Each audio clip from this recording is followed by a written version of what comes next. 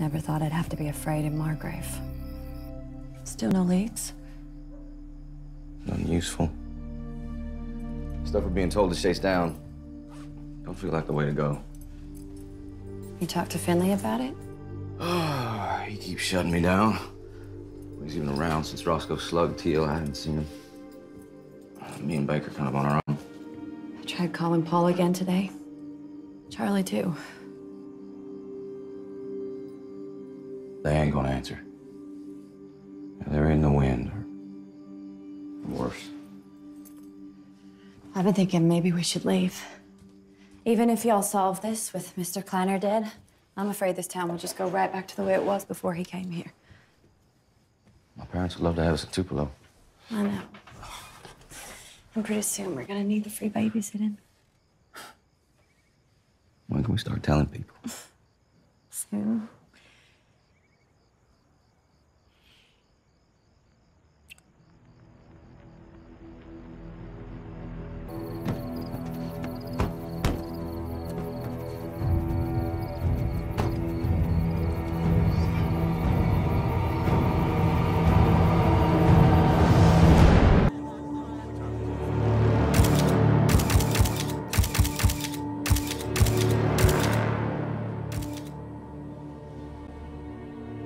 Guess this answers our question. Which one? Mother Stevenson was dirty. He must have been involved to get the same treatment as the Morrisons. This isn't the same. The way Chief Morrison was killed was about sending a message. This is different. How so? Well, for one, they left his balls attached. It's the first thing I checked. Exactly. They didn't want Stevenson going into shock. They wanted him lucid. Wanted him to watch. The tape, the mirrors. They tortured his wife in front of him. There was nowhere he could look and not see. Jesus. This was about getting information.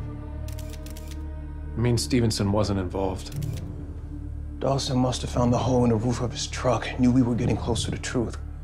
We were all MIA, so they went after the next best source. Stevenson and Hubble were family. So I'm talking to Roscoe, to you, to me. We thought he was working with them while they thought he was working with us. If we'd let him in, maybe we could have protected these two. Three. Finlay, Reacher, a word.